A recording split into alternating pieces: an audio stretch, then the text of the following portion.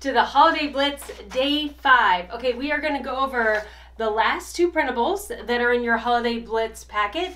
And today I'm going to do more like a workshop. I'm actually going to talk about the Sunday basket. I'm going to show you how you can use right now a holiday basket and a New Year basket in conjunction with your Sunday basket. And I'm going to go ahead and do mine. Like I'm physically going to sort my Sunday basket into these three boxes. I am not going to organize things into slash pockets. Now, for those of you that are brand new to Organize 365, there will be a lot of things that I talk about today where you're like, wait, what's that? What's all access? What's the Sunday Basket Club? What is the complete Sunday Basket? Just know that those of you that have been in the Organize 365 audience are going to understand what I'm talking about, and we could dive in deeper into all of the unique Organize 365 organizing um, solutions as we go on. So I'm to just basically talk about how you take a Sunday basket, which is my inbox. It's my holding place for all of my thoughts, my ideas, my mail, and I go through it on Sunday, which is why I call it the Sunday basket. So we're going to talk about the Sunday basket. And normally you go through this every Sunday. But what is different is we are now going to take all of those to dos and we are going to sort some of them into a holiday box and a New Year's box.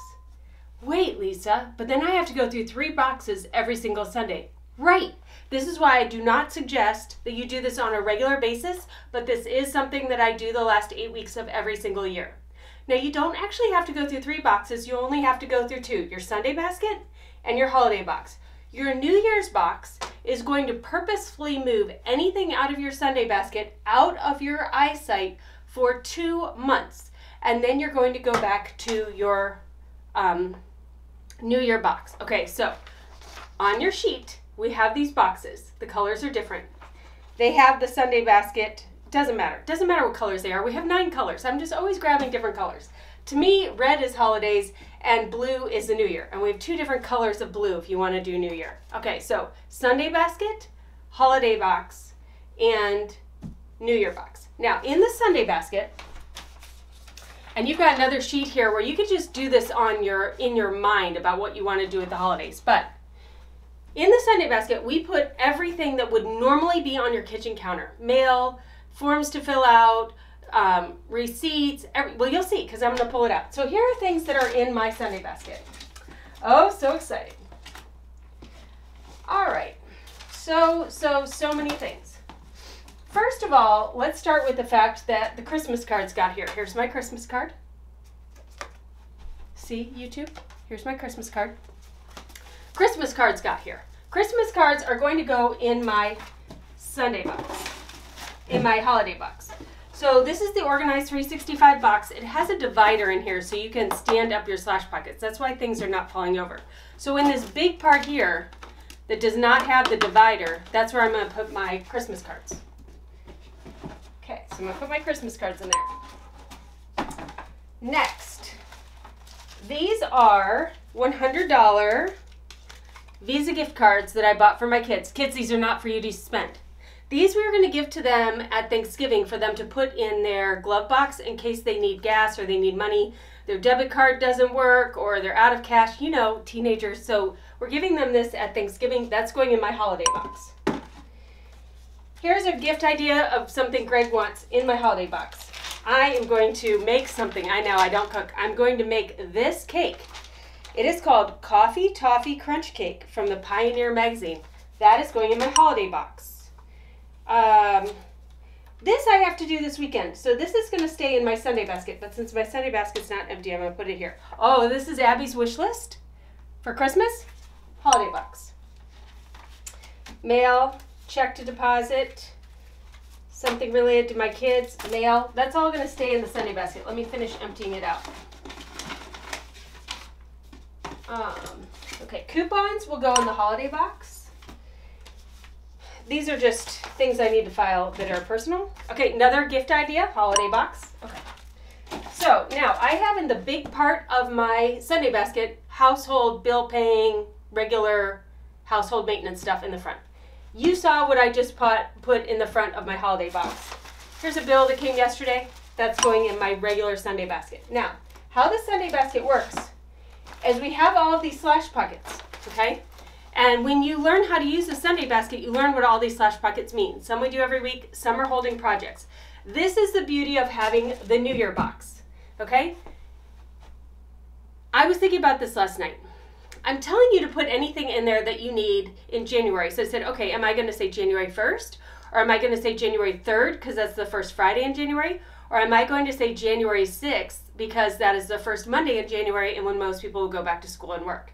And what I decided is this is actually not going to be my New Year box. This is going to be my February box. So if it has to be done before February, I am going to leave it in my Sunday basket. That way, if someone gets sick over winter break or something, I'm not stressing about what is in that New Year box. And already, as I was trying to piecemeal what needed to be done, like I have in here um, our LLC books for both my business and Joey's business. Those are going to stay in the Sunday basket, even though I don't need to make my next quarterly payment until January 15th. Because if it's in the New Year box and I don't get to that until like the 10th of January, it would be too late, and that's too stressful for me. So anything that can wait until February is going to go in my New Year box. This is holidays, this is Sunday basket. So I'll sort these real quick.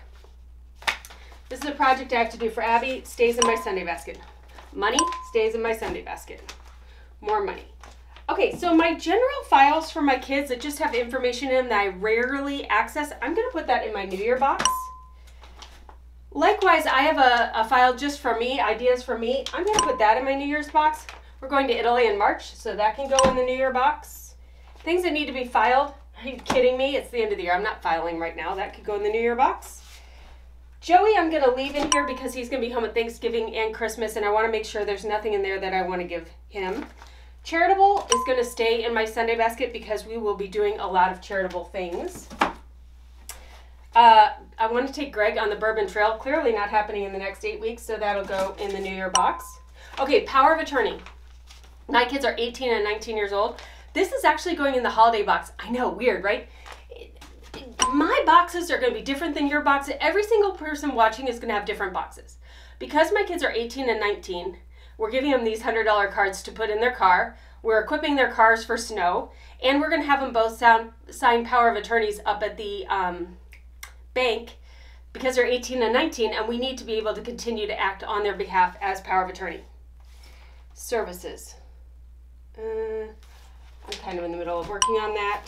This is filing and Holiday Blitz. Okay, so here are all the printables from Holiday Blitz. So I'm going to put that in the holiday box.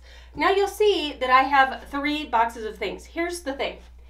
In my company, I always have this many boxes going on. I have like my weekly box, like everything that I'm gonna work on this week that I decide on Friday, I have a whole ton of slash boxes that I'm working on. Then I have my weekly box where I put stuff in and I go through my, my traditional Friday box, which as I finish things from here, they go in here. And then I have a quarterly business box where anything that I'm not working on in the business this quarter stays over here. It's actually right down here underneath me on this bookshelf. So this box is not going to stay on my kitchen counter, this New Year box. It's going to stay in my office. So if I were to need something, let's say out of the Lisa file, I can come get it from here. It's not like I've thrown it away or anything. Or as I go through things, and let's say, um, which I might do, I might just go ahead and pay our quarterly taxes now, even though it's early. And then I'll take these files and I'll put them in the New Year box. And the goal is that these boxes will become emptier and emptier. So now that we've gotten rid of the New Year box, let's move that away. We're left with two boxes. And yes, every Sunday you're going to have to go through your Sunday basket and your holiday box. But here's the thing Thanksgiving is coming up soon. When you go through this box, you're only going to be pulling out the things that are for Thanksgiving and you're going to pull them out and do them at Thanksgiving or maybe that weekend you'll go through the box and do your Christmas cards or whatever else. If you miss things in the holiday box, it's not as big of a deal. As you're getting receipts back, you just throw them in the holiday box. Uh, as you get invitations to parties, whatever. Your mind will go to I'm paying bills, I'm taking care of my house, I'm taking care of my family when you're doing the Sunday basket you may decide that you want to do the holiday box on Saturday mornings or Friday afternoon because you're going to do a lot of shopping on Sundays. And it will keep your holiday planning separate from your day to day bill paying and on and on and on. Okay. Let's let's dress up this holiday box a little bit. In your sheet, I give you these rainbow um, labels. So this is called the Sunday Basket 1.0. I I sell two different kinds of slash pockets. This is the 1.0. It comes with five pockets. They are red, orange, yellow, green, blue. And these are the ones you do every single week inside of the Sunday basket. And we also have a workbox. In the workbox, you have two of them. You have these same labels in the Sunday basket in your workbox, and then you have a Monday through Friday label set. We are going to take one set of these 1.0s and we are going to label them. And they are labeled Christmas, Halloween, Thanksgiving, New Year, and Hanukkah. So you may celebrate Christmas and Hanukkah. if you don't celebrate Christmas and Hanukkah, then you're going to have one uh, empty one that you can use for whatever you want. You might label it receipts. You might change what these colors are. I just gave you a starting point.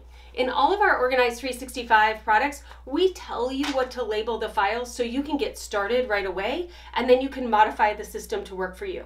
So we always do the holiday blitz in things in November, which misses Halloween every single year. So you are going to keep these slash pockets in your holiday box. And when you are done with your holiday box in January, I suggest you just take these five slash pockets and you pack them with your Halloween stuff. So when you get out your Halloween decorations, you could start your holiday box in October next year before we run the blitz again. So how slash pockets work are like this. Um, you know what I would what I would probably do because I celebrate Christmas and not Hanukkah. I would probably change the one that you're not using to gift ideas. So I'm going to relabel this uh, blue one gift ideas because that's what I have the most paper of. So these are gift ideas, gift ideas, gift ideas. Okay. No. Using all my papers. Okay, so now I have all my gift ideas in one slash pocket. This I am making for Thanksgiving. This cake I'm making for Thanksgiving. The gift cards we're giving to our kids at Thanksgiving. And the power of attorney is already in its own slash pocket, but if it wasn't, I might put that in my Thanksgiving folder. And then I have Christmas tickets that I've bought. I need to go find those and put those in there. And Halloween's done, so it's going to be empty. But I'm just going to go ahead and leave it in here so I don't lose the slash pocket. And I don't have anything for New Year yet.